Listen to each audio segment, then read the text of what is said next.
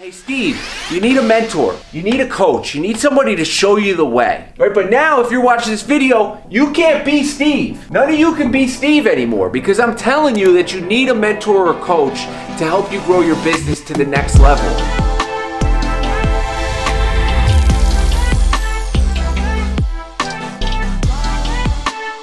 So the importance of having a mentor or coach, it's revolutionary and it'll take your business to a whole new level. I can promise you that. Just like a basketball player, whether professional or young, just starting off, they need a coach to show them the plays, to show them how to condition their body, right? To show them what muscles to work, to show them when to pass the ball and how to pass it and when to drive to the basket. All those things are important and they might not seem like the things that that player needs to be doing, but if that player is taught by a good coach, then they can drive to the basket when necessary. They can pass the ball when necessary. They can make those educated decisions based on the experience of somebody else, the importance of having a coach. And just like it's important to have a mentor or a coach in sports or athletics, it's super important to have a mentor and coach when you're trying to grow a business, right? If you're trying to seal real estate deals, you should probably find someone who sealed real estate deals and can guide you through the process,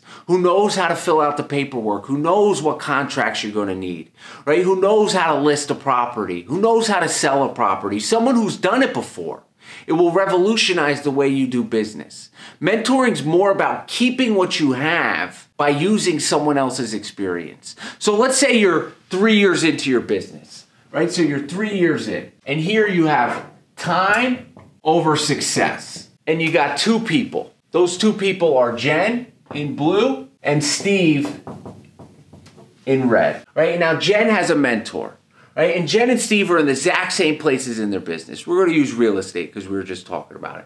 Right? So they're selling houses, they're flipping them, they're both making some money, they got some money in the bank, equivalent money, they have some employees working for them. Um, and Jen decides, like, hey, I'm at a point now where I really don't know what to do next with my business, how to take it to the next level. I can't get past that. Let's say they're both doing $1 million in sales, right? They're both at a million and they're looking for ways to grow that million. And Jen decides to go with a coach, right? And Steve doesn't. So Steve, he continues to struggle because Steve, he can't figure out what the next step is because he's not getting advice from anybody. He didn't find a mentor or coach who's been through the real estate hustle and understands how to take that business of five employees to 10 employees to 15 employees to 40 employees to 50 employees.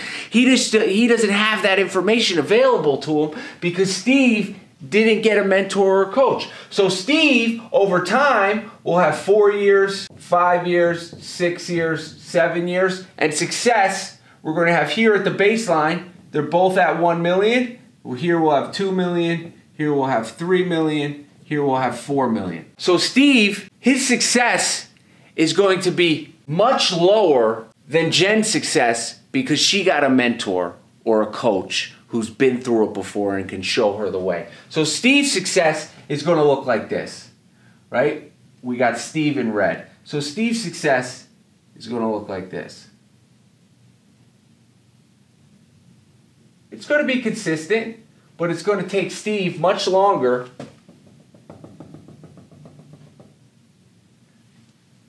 seven, what are we at? Eight here, nine years, right? So for Steve, to reach that three mil, it's going to take Steve nine more years, right? Because he's just going through trials and tribulations and he's hiring some employees and firing some, some employees. He's still in the same office because he can't grow. He doesn't have the information to grow, right? But Jen, she took on a mentor who's been in the real estate industry for 30 plus years and has built a business with a team of 50 plus employees and they're pumping out deals left and right. So Jen uses her mentor's experience because that's what it's all about. It's all about your mentor's experience.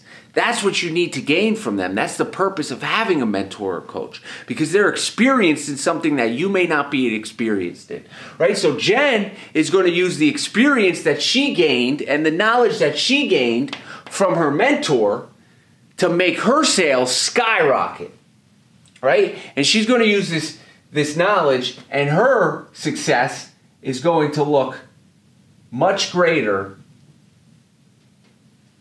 than Steve's success. So here we got Steve, and here we got Jen. Right, so Jen, nine years in, is at, she made it all the way up to 5 million. Right, so Jen's at 5 million. So we got Jen at 5 mil, and we got Steve at 3 mil, and this is nine years later.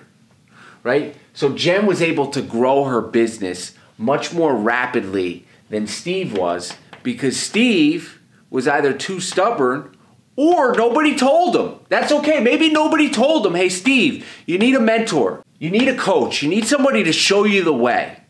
Right? But now, if you're watching this video, you can't be Steve. None of you can be Steve anymore because I'm telling you that you need a mentor or coach to help you grow your business to the next level. And I'm not talking, you know, an on your way to work mentor. Those motivational videos you watch are fantastic. They are great. I watch them every day as well. On my way to work, I, I either listen to Gary Vee or I listen to Grant Cardone. Um, I, there's tons of people I listen to. But that's not a mentor or a coach. A mentor or coach is someone you can work with one on one and can who can show you the way. So you don't want to be Steve. And for all you Steves out there, I apologize. But you don't want to be Steve. And you don't have to be Steve because I'm telling you not to be Steve. You want to be more like Jen. And you want to get a mentor so you can be more like Jen and have your success skyrocket up to this five mil in nine years instead of being like Steve, where he's at three mil in nine years. Right? So Jen was able to grow her business much more rapidly because she had the guidance of someone who's done it before. The importance of doing it. We mentor a lot of people over here at Amazon, and one of the questions I get a lot from our clients, and just especially when we do like live sessions, is is like, what books do I recommend, and what books do I recommend they read to be successful? And really, the answer to that question is like all of them. Because if you don't read it, it can't help you. So I'm not sure which books can help you directly, unless I obviously know maybe what industry you're in that I can recommend some books. But the best way to do it is just read as many books as you can to grow. I try to not limit my experiences with knowledge. I'm trying to gain as much knowledge as possible. So if I could pull some knowledge from this person and some knowledge from this person and increase this success line much more drastically and quicker because the goal is to hit this 5 mil by 6 years or maybe hit this 5 mil by 4 years into your business the quicker you can get the more drastic this line is, right? The, the best way would to be here, right? The closer it is to this axis, the more successful you are, right? So if you could do, and if you get a mentor and three and a half years in, you're pumping out five mil, you took your business from one mil to five mil, then that mentor was worth every single penny you invested in them right? And a lot of mentors, they're not free of charge. Some you could find if you build a relationship with them, it's definitely possible. Others you got to pay for, but it's a small investment. It's a long-term investment. It's an end game investment. So it might seem like a lot of money up front, but I could promise you and guarantee you from my own experience, someone who has multiple mentors, that it is a good investment to help you grow in your business. Find somebody with experience and use their experience to help your business grow. You don't have to do this by yourself. So if you got one thing out this video, it's find a mentor who knows what they're talking about in the industry that you're in and approach them and ask them if they can show you the way. Right? Even if it's going to cost you some money, it's well worth it to invest. Because Steve, who wasn't willing to invest any money, in 9 years he's at 3 mil, right? But Jen, let's say she had to pay her mentor $100,000 a year. $100,000 a year.